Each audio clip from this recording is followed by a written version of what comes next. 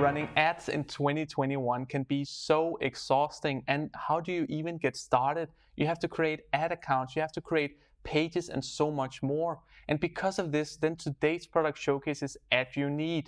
AdYouNeed is a platform where you can advertise on Facebook and Google right now, furthermore Instagram. In the near future, they will add TikTok, which I will talk about later in this video. Furthermore, they have an AI algorithm that can help you easily set up your audience so you are sure that your ads are targeted to the right people. Within two minutes using AdYouNeed, you will have your entire ad setup ready to go.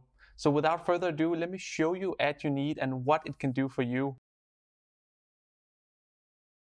Signing into AdYouNeed, this is the dashboard where you can do everything from. As you can see already up here, we have the TikTok logo, which is coming soon. And then we have the Google logo, which is what I'm running on now. If I had added Facebook as well, it would lay up here also. Furthermore down here, we have an overview of all our campaigns. On this demo account, I've just added Nifty PM review. It's a previous YouTube video I've made where I have set up a campaign for this and I will show you in a minute how you set up a campaign. As of right now, they support Instagram, Facebook, and Google, and everything begins with you creating a business. I have already created my business here, but let me just take you through the process. It is quite simple. In here, all you have to do is upload a logo, enter your business name, choose your business category, whether it's e-commerce, local store, marketing agency, freelance marketing, or other. And then based on whether you want to run Google, Facebook or Instagram ads, then you need to connect your account to it. So if I want to run Facebook ads, I would connect my account and choose a page and an ad account. Or if I wanted to run Google or both, then I would connect my ad account. And when that's done, you are ready to create ads. In here, you can see how it looks with my business where I have uploaded my logo. I have my business name, business category, and the different channels that I'm advertising on. At the moment, I'm only advertising on Google. And I will take you through the process just in a moment on how we create a campaign. So the overall design and everything within AdYouNeed is very simple and to the point. We have our dashboard where we can see basically everything about our campaigns, the budget, the impressions, clicks, CTR, the click-through rate, how many is clicking compared to how many is seeing it, the CPC, how much we pay per click, our conversion rate, if that's what we're tracking, the total spend, and all of our conversions in an amount. And then we can fast and easy disable or enable our campaign which is running right here and they do also have so you can do it on multiple campaigns at the same time then you just click the button here and then you click edit or disable enable up here based on what it is you want to do. Furthermore, over here we have our accounts which I have connected. I have connected both of my Facebook, Instagram account and my Google account. And when they have TikTok, I can create a, an account and attach it here as well. As you can see, they have more platforms coming and they do have a voting down here where you can vote on the platforms you would like to see the next. The last element over here is their small university they have made where you can see how you use AdYouNeed, how to use it in general, what it is, how you create an ad and how you optimize an ad. Because the whole optimizing point is basically where you see what target group converts the best for your campaign and then you just filter away all of the other target group that makes no sense for your campaign. Now let's try and go in and create a new campaign. So as you can see here, I have not connected Facebook and Instagram to my business, only to my Ad Need account. So I can only choose Google and soon hopefully I can choose TikTok. But let's just choose Google in this case and then we choose whether we want dynamic search ad or display ads which is also coming soon. So at the moment I can only choose dynamic search ads. Here at this moment I choose whether I want conversion or I want traffic to my website. If I want conversion, I need to choose an event, which I can't right now because I do not have any events. So we'll just choose traffic to my website. Down here, we need to give the campaign a name. So I'll just call this YouTube campaign and then go to the next step where it is that we need to define our audience. Now, in the intro, I talked about that they had an AI algorithm that could help you define your audience. This does not work within Google. It only works within Facebook at the moment. I hope that in the future they will add this so it works across all of the platforms that AdYouNeed support. But we can filter away on location, what website we want to link to, and our audience name we can give it. So we can say that, for instance, we want to target Germany and we want to target France. The website I want them to go to is not all of my pages, it is a specific page. So I will just tell them to go to my front page. Down here, my website language is in English and the target audience I choose is also in English but you can choose all of the languages right here. And the same in website language, it is basically the same. In the last part, we need to give the audience a name. We'll call this Germany and France. And then we go to our next step, where here we basically set up our ad. As you can see up here, they have an ad score where they help us show how you can have a better ad score and how your ad can perform better. And based on these elements, the more of them you perform, the better your ad will hopefully perform. But we'll, we can add here a description, description one and description two, for this specific ad and then we can make different variations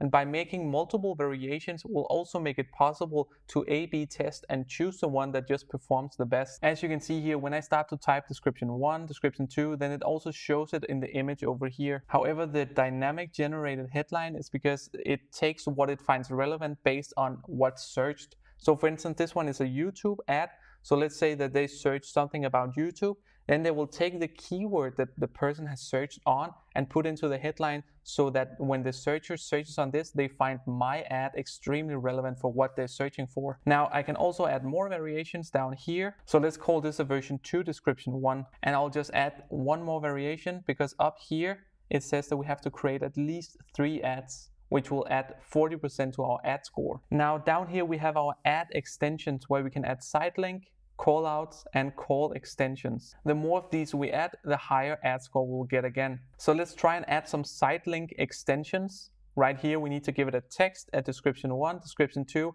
and the URL. It's the same as we saw up here. Now I have added two site links, as you can see right here. We have added an About Me site link and a Contact Me site link.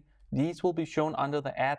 One thing I'm missing here is that they're not showing it in the ad example. I think this ad example is so great but it should also include these extensions for me to get an idea of how it looks. Furthermore, down here, we can add some call out extensions, which is just two texts. This can be, if you're a web shop, it can be free shipping, or it can be free shipping above uh, 500, or it can be contact me today and get this offer, and so much more. This is just text to encourage them to take action on your ad. I've added this now. Again, it is not showing in the ad example. And the last one is our call extension where we can add our phone number.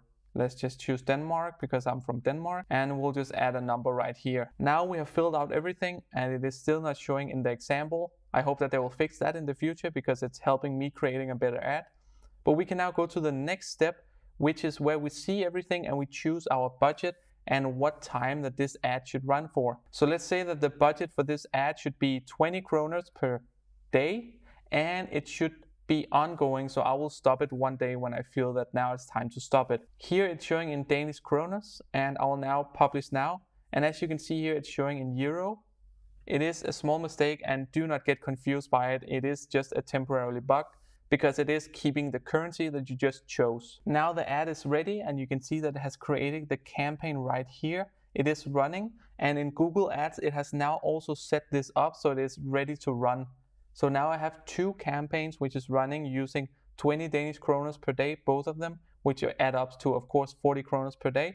It's just that you have to be aware of this. It is not sharing the budget of 20 kroners. Now, when this starts to get some traction and get some data and some statistics, then we can start to optimize on this. For instance, our nifty PM review right here, when this starts to gain traction and statistics and data, then we can see what type of target group is clicking on my ad and is actually watching my video or is spending a certain amount of time on my page because the longer time they spend, the better of a conversion this is in my case. And if I see that, for instance, 18 to 25, they are not spending so much time they're just always clicking away from my ad, well, then maybe I should exclude them. Or if I see that people from France specifically from France, they don't like my ad because they don't click on it, or they click on it and they quickly just go away from my website, then again, I should exclude France. And this is the way that you optimize your entire campaign. I hope they do give more features in the future, and I will also talk about that in a moment.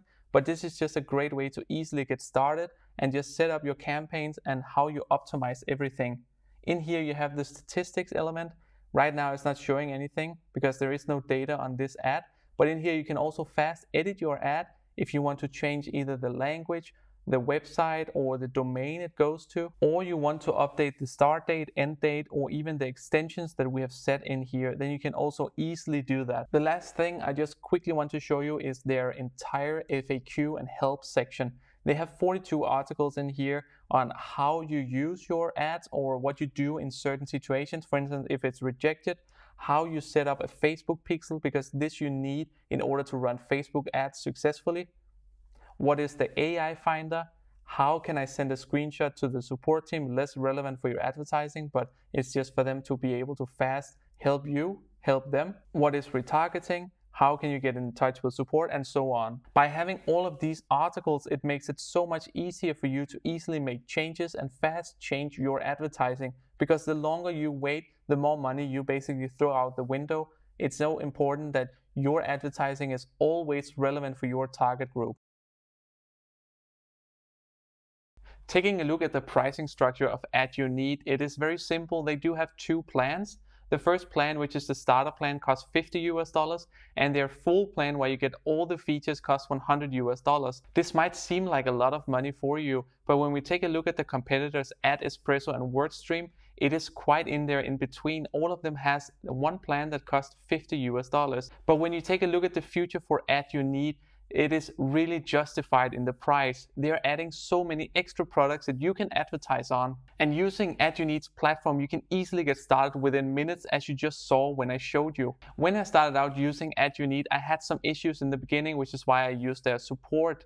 They do have a live chat support and they answer within a day. So that's great because when it comes to advertising, if you do not get answers and can make changes within a day or so, then you might lose a lot of money because it's expensive to advertise to the wrong people or to the wrong audience or just to a wrong market, which is why it's great that I got a very fast response from AdYouNeed. Going back to the competitors, WordStream and AdEspresso, they are right in there between. AdEspresso is definitely the biggest player in the market at the moment. However, they do only support Google and Instagram and Facebook. And it is the same as AdYouNeed now, but AdYouNeed is adding way more platforms in the future, as mentioned TikTok, but they are also adding more platforms within Google and they're looking into LinkedIn ads and YouTube ads. So when we take all that into account, then I definitely see AdYouNeed with a more interesting future compared to the competitors. Furthermore, the design of AdYouNeed is so appealing and it's so modern in 2021, whereas AdEspresso is a little bit behind. So I'm definitely sticking with AdYouNeed and I can wait it out and wait for the future because it's going to be very exciting. And talking about the future, they are working on TikTok as mentioned and that will come as the next big platform that you can use. And what's cool about the platform, as you just saw, you can get started within minutes. So if you want to test out TikTok, you don't have to allocate hours to set up an ad account and figure out how to do these ads. You can just get started right away. Furthermore, I'm using an app called Crello, and Ad You Need right now is integrated with Canva, but they are mm-hmm. also going to integrate with Crello in the near future, which is going to make it so much easier for me to create Facebook ads in this sense. They are also expanding their Google platform where they're going to add Google Smart Display ads. Again, this is great because using their platform, you can test it out within minutes. And that's the overall greatness of AdYouNeed. In their Facebook segment, they're also adding another platform type called Facebook Creative Dynamic Ads.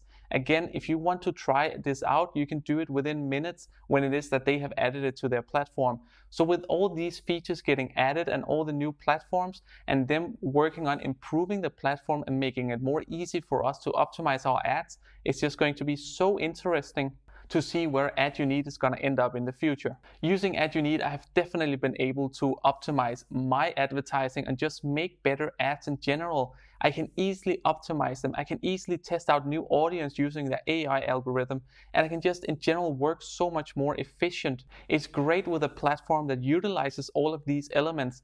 I do, however, hope that they will start to take the elements from Google Ads more. As you know, if you're using Google Ads, they have this recommendations tab. It would be so awesome if we could get that recommendation tab within Ad so we in there could optimize our ads based on the recommendations from Google. And if you do feel excited as I am about AdYouNeed, then you can test it out completely free. They do have a seven day free trial where you can sign up and test out the product completely. And if you do like what you see, then you can sign up for their premium plan and continue your advertising. So yeah, that's my review of AdYouNeed. If you liked the video, please give it a thumbs up if you're new to this channel, don't forget to subscribe. And if you have any questions about AdYouNeed or other products you would like me to review, please leave a comment down below. Thank you so much for watching. Let's catch up on the next one.